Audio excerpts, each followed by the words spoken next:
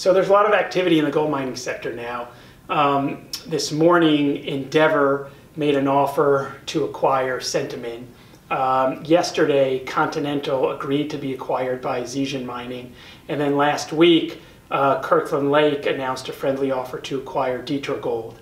Um, Detour and Centamin are both single asset companies. Um, Centamin has a mine in Egypt and Detour has a mine in Ontario. Uh, Continental is a development stage company. They are building a mine in Colombia and the mine should hopefully come into development at the beginning of next year.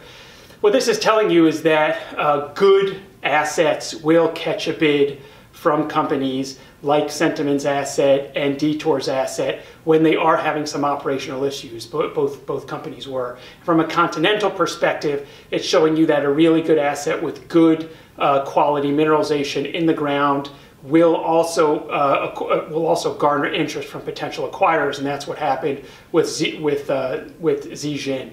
Um, as as as these companies get bought, what will happen is that the next stage of companies um, will start to garner some interest from the market. So earlier stage development companies or exploration stage companies will start to get interest um, from the market and that should be helpful for overall valuations in the gold mining sector. So what we're seeing now I think is a, is a positive thing. Um, we're seeing companies come together to try to get bigger and better. Uh, we're seeing good assets get bought and then this should hopefully again garner interest, make, make bigger companies, make them more interesting to the market, and then smaller companies should also get more interest. So overall, is a good thing for, uh, for the gold mining sector, and we're, we're, we're pleased to see it.